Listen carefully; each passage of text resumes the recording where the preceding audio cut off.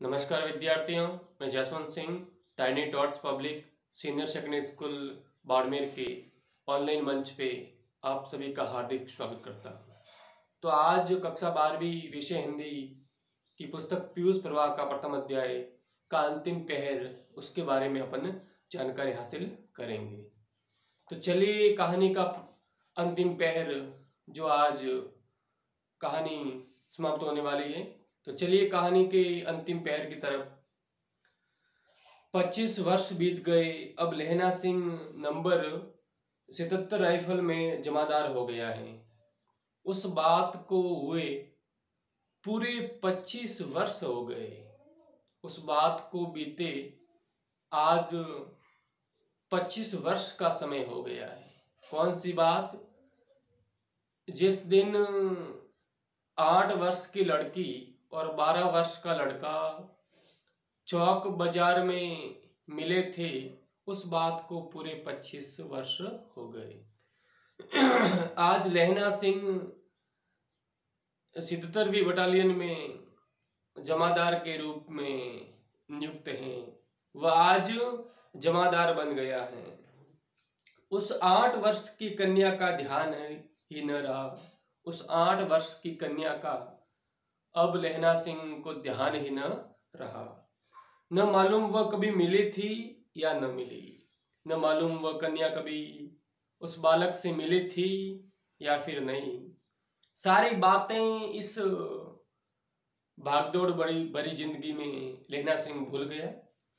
सात दिन की छुट्टी लेकर ज़मीन के मुकदमे की पैरवी करने वो अपने घर गया था। सात दिन की छुट्टी लेकर वह अपने मुकदमे की पैरवी करने के लिए अपने घर गया था, अपने गाँव गया था। वहाँ रेजिमेंट के अफसर की चिट्ठी मिली कि फौज लाम पर जाती है, फ़ौरन चले आओ। लेकिन वहाँ पर पहुँचने पर पीछे से रेजिमेंट के बड़े अफसर की चिट्ठी लेना सिंह के नाम आई कि फौज लाम पर है, शीघ्र चले आओ। फौज लड़ाई लड़ने के लिए जा रही है, युद्ध छिड़ गया है, युद्ध आरंभ हो गया है। शीघ्र अपने गाँव से यहाँ पर युद्ध के लिए लौट आओ। साथ ही सूबेदार हजारा सिंह की चिट्ठी भी मिली। मैं और बोधा सिंह भी लाभ पर जाते हैं। और साथ में सूबेदार हजारा सिंह और बोदा सिंह की भी चिट्ठी मिली, क्योंकि वह दोनों भी गाँव आए हुए थे। और हजारा सिंह का और लहना सिंह का गाँव पास पास में ही था। तो सूबेदार की चिट्ठी आई लेना सिंह के नाम कि हम बोधा सिंह और मैं भी गाँव आए हुए हैं। दोनों तीनों साथ में चलेंगे लड़ाई लड़ने के लिए। लौटते हुए हमारे घर होते जाना और कहा कि लौटते हुए हमारे घर की तरफ़ से आना ताकि हम साथ में चलेंगे। सूबेदार का गाँव रास्ते में पड़ता था और सूबेदार उसे बहुत चाहता था सूबेदार का गाँव जब लेना सिंह फौज की तरफ़ जाएँगे तो बीच में ही पड़ता था। लेना सिंह सूबेदार के वहाँ पहुँचा। जब चलने लगे तब सूबेदार बेड़े में से निकल कर आया। जब रवानगी हो रही थी, लड़ाई लड़ने के लिए जाने वाले थे। इतने में बेड़े में से निकल कर सूबेदार आया और बोला, हे लेना सूबेदारनी तुमको जानती हैं। बुलाती हैं। हे लेना सिंह, सूबेदार ने तुम्हें जानती हैं, तुम्हें पुकार रही हैं। जा मिला, जा अपनी सूबेदार ने से मिला। लेना सिंह भीतर पहुँचा, सूबेदार ने मुझे जानती हैं कब से? तो जब जरा सिंह ने कहा कि लेना सिंह सूबेदार ने तुझे जानती हैं तो लेना सिंह ने कहा कि कब से जानती हैं? रेजिमेंट के क्वार्टरों में तो कभी सूबेदार के घर के लोग रहे नहीं।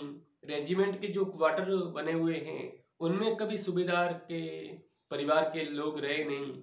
फिर मेरे को सूबेदार ने क्या से जानती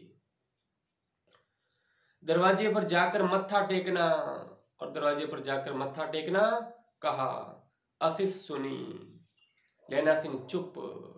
मुझे पहचाना नहीं। अब लेना सिंह जो ही घर में गया तो सामने एक महिला खड़ी थी, सूबेदार ने खड़ी थी। उसने लेना सिंह से कहा, मुझे पहचाना। तो लेना सिंह का जवाब आया, नहीं। तो फिर वो कुछ बीती बातों को स्पष्ट करते हुए लेना सिंह का ध्यान अपनी ओर खींचती है, कहती है तेरी कुड़माई हो गई, दत्त कल हो गई, देखते नहीं, रेशमी बूटों वाला सालू अमृतसर में, वगैरह वगैरह। यानी बीते समय की बातें उसने सुबेदारनी ने सामने लाई। तब लेना सिंह को कुछ कुछ याद आने लगा। बाहों की टकराट से मूर्छा हटी, करवट बदली, पसली का घाव बह निकला। यानी भावों की टकराट से उस घायल अवस्था में पड़े। लेना सिंह की मूर्छा हटी। यानी भावों की ऐसी उहापोह थी भावों की ऐसी टकराहट कि ये सपना चल रहा है। बेहोशी की हालत में लेना सिंह पड़ा है और उस अवस्था में उसके मन में एक सपना चल रहा है। बीते समय की बातें उसके ध्यान में आ रही हैं, बीते समय की बातें, उसके मन में स्पष्ट होती जा रही है।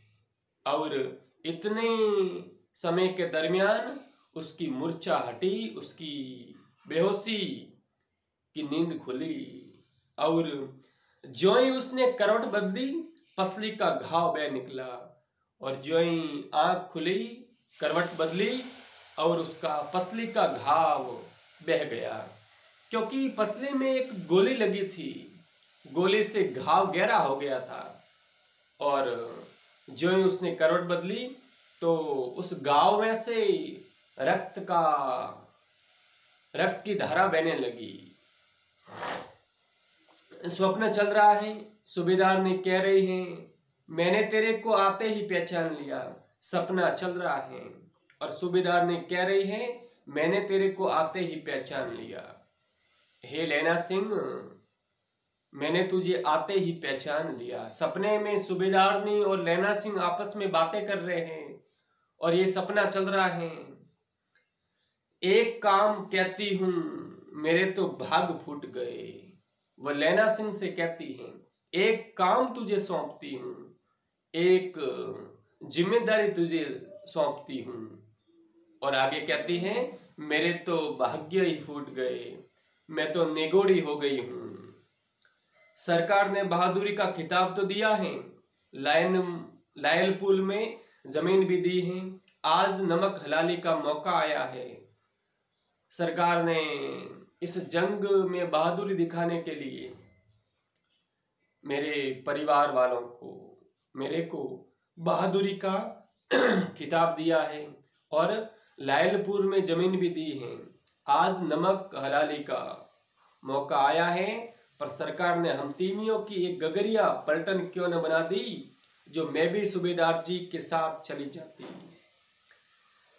अब लेना सिंह के साथ में उस सुबेदारनी का पुत्र, उसका पति लड़ाई लड़ने के लिए जाने वाले हैं।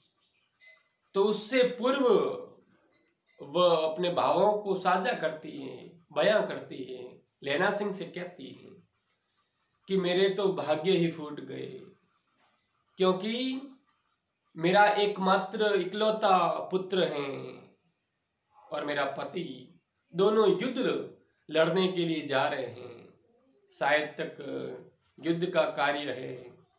वापिस उनको लौटना नसीब हो या नहीं हो, लेकिन करूँ तो करूँ क्या? मेरा एक ही बेटा है और मैं चाहती हूँ कि वह बेटा भी अपनी मातृभूमि के लिए कुछ अपना कर्तव्य अदा कर सके। इसलिए फौज में मैंने उसको भर्ती किया। पति जो युद्ध भूमि में जा रहा है, वापस लौटे नहीं लौटे, ऐसी मन में कल्पनाएँ उसके आ रही है। ऐसी बातें वो सुबेदार ने लेना सिंह से बयां कर रही है। और कहती है कि काश मैं भी फौज में भर्ती हो जाती, काश सरकार ने ऐसी योजना चला दी होती जिसमें महिलाओं की अलग से पर्यटन हो, महिलाओं की अलग से फौज हो और महिलाएँ अपने पतियों के साथ में इस देश सेवा के कार्य में संलग्न हो जाती। काश ऐसी ऐसी फौज सरकार ने बनाई होती। लेकिन हम करें तो अभी क्या करें? हम अपने पतियों के साथ में युद्ध लड़ना चाहती थी, लेकिन ऐसा मौका सरकार ने हमें दिया नहीं, क्योंकि महिलाओं की फौज सरकार ने बनाई नहीं। और एक बेटा है, फौज में भर्ती हुई उसे एक बरस ही हुआ है और आगे कहती है कि, मेरा एक मात्र इकलौता बेटा है, फौज में भर्ती हुए एक बरस ही हुआ है। उसके पीछे चार और हुए, लेकिन इसके पीछे चार और हुए, पर एक भी नहीं जिया। उस बोधा सिंह के पीछे चार पुत्रों को मैंने जन्म दिया, लेकिन एक भी जीवित नहीं रहा। और इतना कहते हुए सुबेदार ने रोने लगी।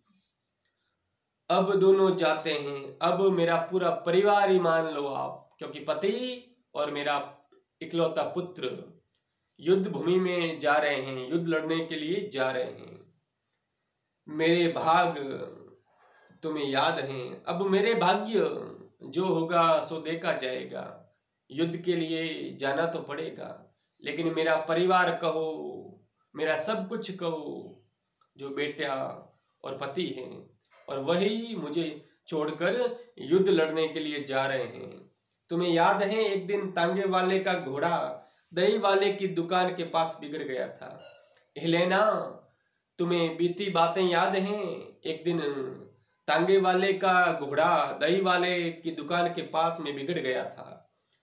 तुमने उस दिन मेरे प्राण बचाए थे। तुमने उस दिन मेरे प्राणों की रक्षा की थी। अपने जान की परवाह किए बगैर तूने मेरे प्राणों को बचाया था।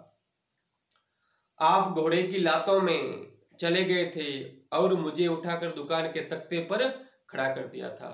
स्वयं तो ज़िंदगी को दांव पर लगाकर घोड़े की टांगों में कुचलने के लिए चले गए थे, लेकिन मुझे एक सही ढंग से उस घोड़े की टांगों के बीच से सुरक्षित उस दुकान के तख्ते पर खड़ा कर दिया था। तो ऐसे ही इन दोनों को बचाना। जिस तरह से तूने मेरे प्राणों की रक्षा की थी, जिस समय मेरे प्राण संकट में थे, जब मैं घोड़े के पांवों से कुचली जाने ही वाली थी, तूने तुरंत अपने प्राणों को जोखिम में डालकर मेरे प्राणों को बचाया था। तूने मुझे सुरक्षित स्थान पे लाके खड़ा किया था। ऐसे ही मेरे पति और मेरे पुत्र की रक्षा करना। जैसी रक्षा तूने बीते समय में मेरे प्राणों की की थी, अब मेरे प्राण से कई गुना ज़्यादा जिनका मोल है, वो मेरे पति के प्राण, मेरे पुत्र के प्राण। उनके प्राणों की तू रक्षा करना, सुबेदार ने लहना सिंह से कहती है। यह मेरी भिक्षा है, यह तुझसे मेरी भिक्षा है। मैं तेरे से भिक्षा मांगती हूँ मेरे पति के प्राणों की मेरे पुत्र के प्राणों की। तुम्हारे आगे आंचल पसा, पसारती हूँ तेरे सामने मैं अपना आंचल पसारती हूँ। मुझे भिक्षा दे दे मुझे मेरे पति मेरे पुत्र के जीवन की भिक्षा तू दे दे मैं तेरे सामने भीख मांगती हूँ आंचल पसारती हूँ। रोती रोती सुबेदारनी ओवरी में चली गई ऐसा कहते कहते रोते रोते सुबेदारनी घर में चली गई। लहना भी आँसू पहुँचता हुआ बाहर आया। ऐसी दुखांत भरी बातें सुनकर लहना सिंह के आँखों में अश्रुधारा अनवरत बहने लगी और लहना सिंह आँसू पोसता हुआ बाहर आ गया। वजीरा सिंह पानी पिला दो, उसने कहा था। और इतना कहकर पुनः वही रट लगा के वजीरा सिंह पानी पिला दो उसने कहा था।